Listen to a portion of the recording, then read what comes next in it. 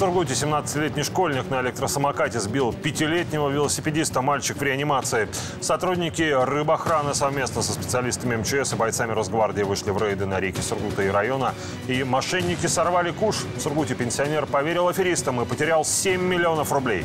Здравствуйте. В эфире программа «Что произошло в ближайшие несколько минут» о самых заметных ЧП в Сургуте и Югре в студии Дмитрий Круковец.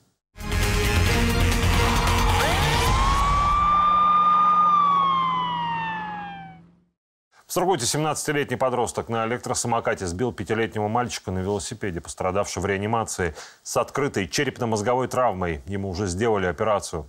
Авария произошла в районе 31-й школы на Каролинского вечером в среду. На место оперативно приехали медики и полицейские. Последние сейчас разбираются в обстоятельствах этого ДТП. Известно, что электротранспорт был взят на прокат. Инспекторы ГИБДД обращаются к родителям ребят, использующих средства индивидуальной мобильности, с просьбой провести беседы с ними, освежить основные правила движения на таких транспортных средствах. А в Нефтеюганске минувшей ночью нетрезвый мужчина стрелял с балкона из ружья. Сигнал в полицию поступил от соседей. Прибывшие сотрудники патрульно-постовой службы задержали 38-летнего мужчину. Как рассказали журналисту телеканала «Сургут-24» в МВД Югры, он вместе с сожительницей употреблял горячительные напитки. В голову пришла мысль пострелять и она почему-то не показалась нефтеюганцу странной. Он взял ружье, на которое, к слову, имел лицензию, прицелился и несколько раз выстрелил в землю. Никто не пострадал. Во время обыска у нарушителя спокойствия изъяли помимо оружия еще 13 гильз, патроны, ракетницу, ножи и три дымовые шашки. Возбуждено уголовное дело по статье хулиганства с применением оружия. В Сургуте за один вечер в разных районах города сгорели мотоцикл и машина. 3 мая около 17 часов на геологической вспыхнул мотоцикл Honda. Возгорание за считанные минуты ликвидировали трое огнеборцев. Без 15.10 поступило сообщение о пожаре в автомобиле Subaru Impreza на улице Маяковского. На то, чтобы справиться с огнем, также потребовалось пара минут. С задачей успешно справились четыре спасателя. Причины обоих ЧП сейчас устанавливают дознаватели.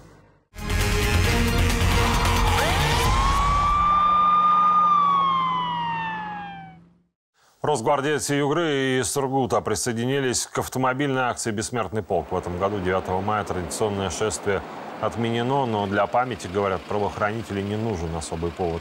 Всем, кто хочет отдать дань уважения подвигу предков, предлагают множество вариантов проведения мероприятия. Среди них одна из акций – автомобильный «Бессмертный полк». Водителям предлагается разместить фотографии воевавших предков – на стеклах машин. Инициативу поддержала Сургутская вневедомственная охрана окружного управления Росгвардии. Сотрудники наклеили портреты героев Великой Отечественной дедов и прадедов на лобовые стекла служебных авто. Каждый из бойцов знаком с историей своих предков, знает об их подвигах, совершенных в годы войны. Сотрудники Росгвардии отмечают, что гордятся ими и призывают всех поучаствовать в подобном флешмобе. Дедушка моей супруги, Седун Василий Антонович, который родился 10 э, ноября 1925 года в селе э, Хмельницкой области. В марте 1944 года, в возрасте 18 лет, он ушел на фронт. Служил в 465-м стрелковом полку. В 1944 году был дважды ранен, но, несмотря на ранение, остался продолжать свой боевой путь. В данной ситуации, раз ну, нельзя традиционно шествовать, значит, мы должны как-то чтить память своих дедов, прадедов, бабушек, дедушек, ну и всех. Поэтому, если есть возможность размещать 4 мая на водоеме вблизи сброса с ГРЭС-2 сотрудники рыбоохраны, ГИМС и Управления Росгвардии провели совместный профилактический рейд по соблюдению правил добычи водных биологических ресурсов. До 31 числа текущего месяца действует особый режим ловли рыбы. Она мигрирует к местам нереста и нагула. Мешать ее воспроизводству нельзя, поэтому допускается только рыбалка с берега. Количество разрешенных к добыче особей и другие нюансы прописаны в правилах для западносибирского рыбохозяйственного бассейна запрещено э, добывать, вылавливать все виды рыб, а также использовать и применять все виды э, орудия флова, за исключением э, одной донной или поплавочной сети спиннинга э, с общим количеством крючком не более двух у одного гражданина. И если гражданин осуществляет добычу водных биологических ресурсов э, с удочкой, то он должен осуществлять ее с берега без применения каких-либо плавающих средств. Есть виды рыб, которые запрещены к вылову повсеместно. Среди них краснокнижный сибирский осетр, стерлядь, нельма, муксун, чир. В случае, если такая особь попадется в сеть или на крючок, ее необходимо отпустить. За прошлый год сотрудники Сургутского подразделения рыбоохраны выявили 163 правонарушения, 29 из них с признаками уголовно наказуемых деяний.